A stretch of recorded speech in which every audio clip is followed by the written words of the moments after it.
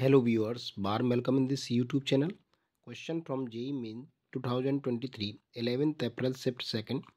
If force F, velocity v and time t are considered as fundamental physical quantity, then dimension formula of density will be.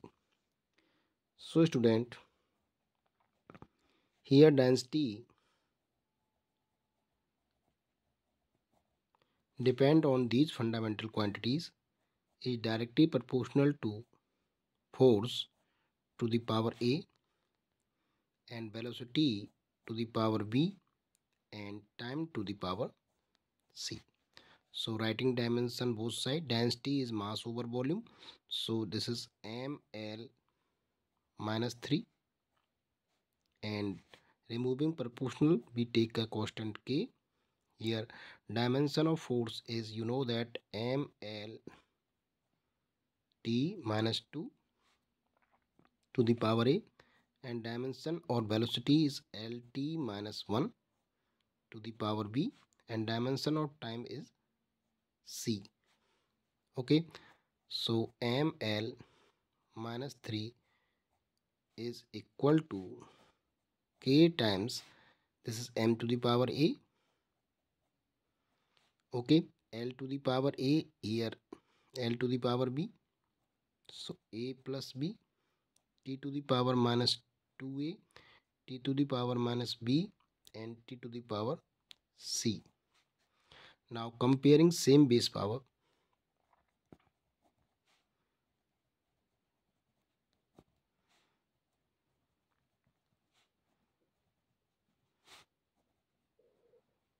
this power both side. So here m power 1 and a to the power m to the power of a here. So a is 1 from here a plus b is equal to minus 3 and from here minus 2a minus b plus c equal to 0 so solving these equation we, we have put to be 1 so this is b equal to minus 3 minus 1 so b equal to minus 4 now putting value here of a and b. So 2 into 1 minus b.